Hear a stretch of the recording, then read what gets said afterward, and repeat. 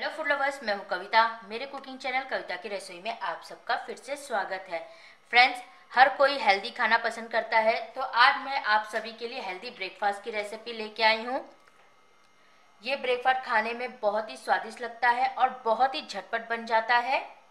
इसे आप बच्चों को टिफ़िन में भी दे सकते हैं, आपका मन करे तो लंच और डिनर में भी आप इसे खा सकते हैं। अगर आपको ये हेल्दी ब्रेकफास्ट की रेसिपी पसंद आए तो वीडियो को लाइक कीजिए शेयर कीजिए कमेंट कीजिए और मेरे चैनल कविता की रसोई को सब्सक्राइब कीजिए और उसके साथ ही साथ बेल आइकन को भी प्रेस कीजिए जिससे आपको मेरे वीडियो के नोटिफिकेशन सबसे पहले मिलेंगे।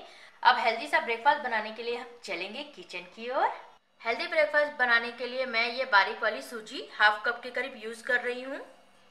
और इसके अंदर मैं वन फोर्थ कप के करीब दही ऐड करूँगी।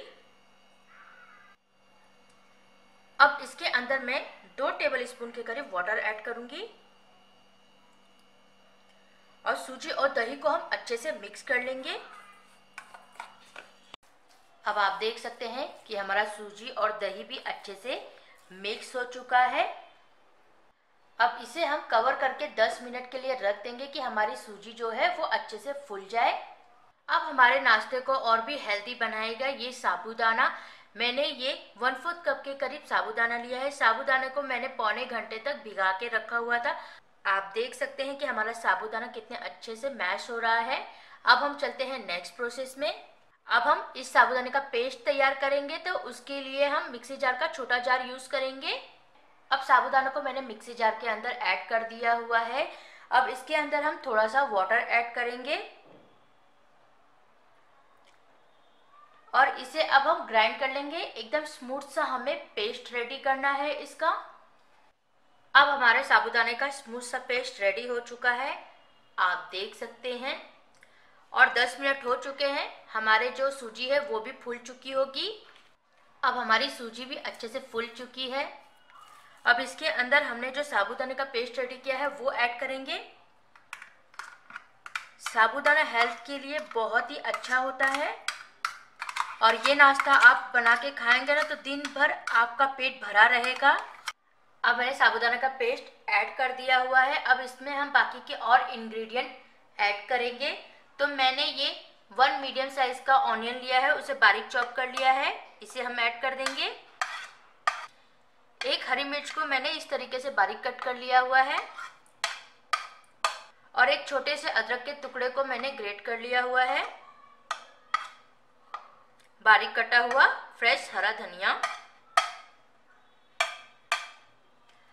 छह से सात मैंने ये करी पत्ते लिए करी पत्ते को मैंने एकदम बारीक कट कर लिया है। इस तरीके से बारीक कट करके कड़ी पत्ता ऐड करने से बहुत ही अच्छा टेस्ट आता है कड़ी पत्ते का नाश्ते के अंदर। अब इसके अंदर हम अपने टेस्ट के अकॉर्डिंग नमक ऐड करेंगे। अब इन सारी सामग्रियों को हम अच्छे से मिक्स कर लेंगे। याद रहे कि एक भी लम्स ना रहे इसके अंदर। अब सारी सामग्रियाँ अच्छे से मिक्स हो चुकी है। अब इसके अंदर हम थोड़ा थोड़ा करके वाटर ऐड करेंगे। जिस तरीके से हम डोसे का बैटर रेडी करते हैं, उस तरीके का हमें इसका बैटर रेडी करना है। एक साथ वाटर इसके अंदर ऐड ना करें थोड़ा थोड़ा करके वाटर ऐड करें। यह नाश्ता खाने में बहुत ही टेस्टी लगता है और बहुत ही हेल्दी है और बहुत ही झटपट बन जाता है। और अगर आप बच्चों के लिए बना रहे हैं तो इसमें हरी मिर्च को आप अवॉइड कर सकते हैं।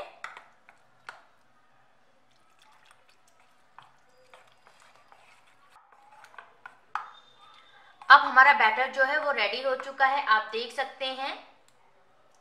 मैंने एक कप के करीब वाटर लिया था बैटर रेडी करने के लिए, इतना वाटर बच चुका है। अब हम चलते हैं नेक्स्ट प्रोसेस में। गैस पे मैंने नॉनस्टिक तवा रखा है गर्म होने के लिए, तवा हमारा गर्म हो चुका है। गैस का फ्लेम मैंने इस समय स्लो करके रखा हुआ है। अब मैंने जो नाश्ते का बैटर रेडी किया है, वो इसके अंदर में एक कलछुल के करीब ऐड करूँगी तवे पे। और इसे हम स्प्रेड कर लेंगे। तवे के ऊपर हमें कोई भी ऑयल या बटर यूज़ नहीं करना है इस समय। इसे हम इस तरीके से स्प्रेड कर लेंगे। अब मैंने इसे स्प्रेड कर दिया हुआ है। अब गैस का फ्लेम हम मीडियम कर देंगे। मीडियम फ्लेम पे ही हमें इसे पकाना है। अब इसके साइड में मैं थोड़ा सा ऑयल इस तरीके से डाल दूँगी।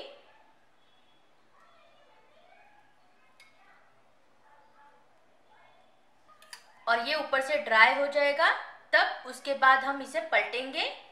अब आप देख सकते हैं कि ये ऊपर से ड्राई हो चुका है, अब इसे हम पलट लेंगे। बहुत ही सावधानी से इसे पलटे, कि ये टूटे नहीं। आप देख सकते हैं कि ये नीचे से कितने अच्छे से सीख चुका है। अब दूसरे साइड भी इसी तरीके से ब्राउन होने तक हम इसे सेकेंगे। अब इसे हम पलट के देख लेते हैं कि ये नीचे से भी अच्छे से सीख चुका है कि नहीं। आप देख सकते हैं कि ये नीचे से भी अच्छे से सीख चुका है। इसी तरीके से बाकी के सारे हम बना के तैयार कर लेंगे। फ्रेंड्स, अब हमारा हेल्दी सा नाश्ता बनके तैयार हो चुका है। आप इस रेसिपी को ज़रूर ट्राई कीजिए। आपको ज़रूर पसंद आएगी। और अपने एक्स में नीचे कमेंट बॉक्स में ज़रूर शेयर कीजिए, मेरे वीडियो को लाइक कीजिए शेयर कीजिए कमेंट कीजिए और मेरे चैनल कविता की रेसिपी को सब्सक्राइब कीजिए। तो फ्रेंड्स फिर मिलेंगे एक नए वीडियो में एक नए रेसिपी के साथ। तब तक के लिए फ्रेंड्स गुड बाय